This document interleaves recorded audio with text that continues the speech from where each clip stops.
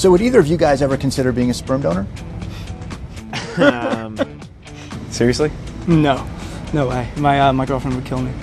Um, yeah. I mean, if somebody wants my sperm, I mean, I don't know. I mean, I gotta know what it entails. Would it surprise you to find out that tens of thousands of people out there are actually relying on sperm donors to start their families? People with dreams of being moms and dads who have really no other good option but, but going to a sperm bank. And the fact that there are guys out there like yourself, possibly, willing to be sperm donors, have this incredible impact that you really change the world. Is that, would that influence you at all in your decision?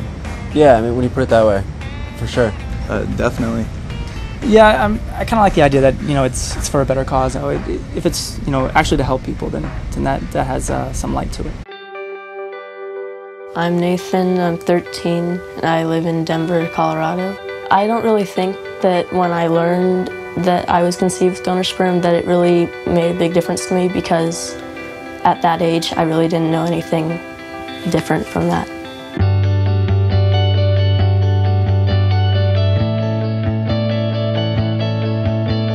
How difficult was that conversation, Julia, to have with your daughter? Oh, the hardest thing in my life to do. What, what was going through your mind as you were? Um, that she would hate me, she'd be very angry. That was probably my biggest part, that she wouldn't want to be with me anymore.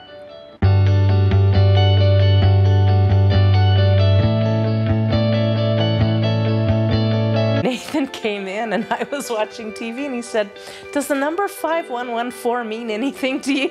And I said, Well, yes, that's your donor.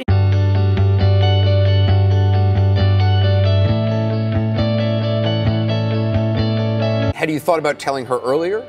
Because I know some people tell kids all throughout their childhood so that there isn't that. I had thought about it, and the timing just wasn't right. And I set then a goal that Mother's Day was the day I was going to tell her no matter what. And and I saw her reaction. I was, I remember being happy that I had half siblings, but a little frustrated with her because she had known about some of them and she hadn't told me before.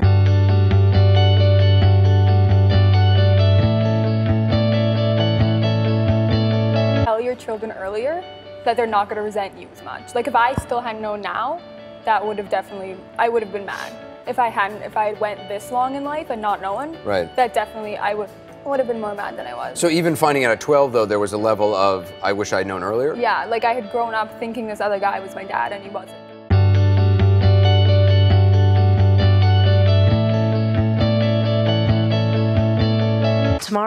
Are getting on a plane and we are flying to Taos and he is going to meet five of his half siblings for a, a reunion. I believe just two of the girls have met and the first time that everyone else has met.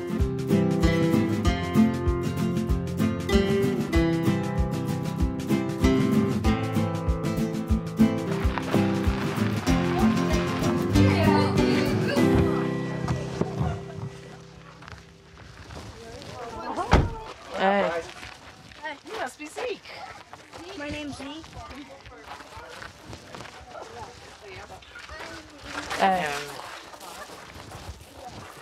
Hey.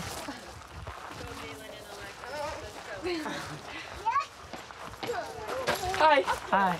Come on.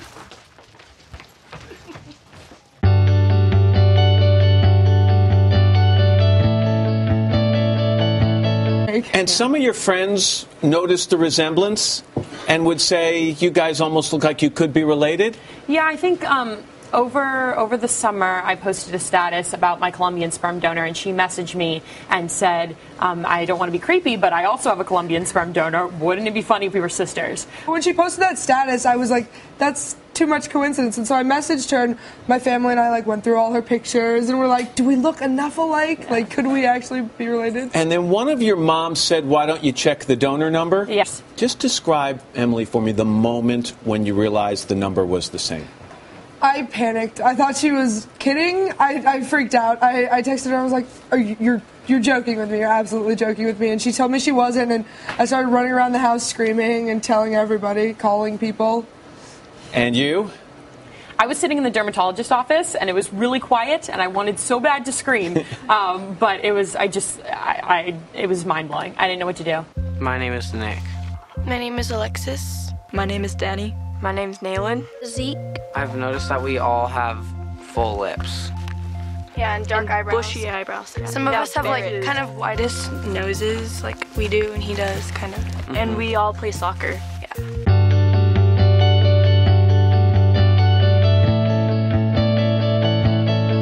So many questions from clients about our, our openness policy, our contact policy with donors. Let's talk about anonymous donors first. What does it mean when I choose an anonymous donor, and what does that mean in terms of potential contact for my child someday with that donor? The policy is that they do not agree to have any type of contact with offsprings up front. However, if an 18 year old comes to us and is interested in having some type of contact with an anonymous donor, we will attempt to get in contact with the donor to find out his feelings at that point. It starts all with email. I will have an offspring send me a bio, a list of questions that they're interested in, and I basically cut and paste and send it to the uh, donor, and then the donor sends it back to me. I cut and paste and forward it to the offspring. And then if the donor says, okay, I'm comfortable with photos, I just follow the same procedure.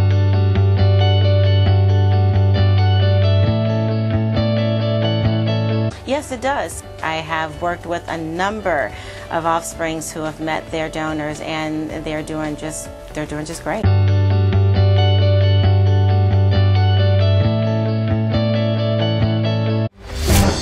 David Wozniak, you are the biological father of 533 children. What? These children are the result of a mix up at the fertility clinic to which you donated in 1991. They are now suing to discover your identity.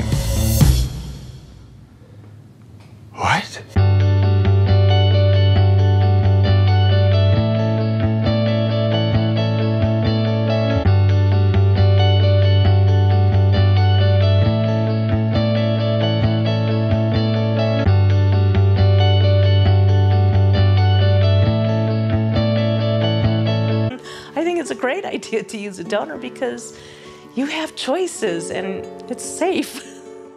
It was the best decision I ever made. I'm having a blast.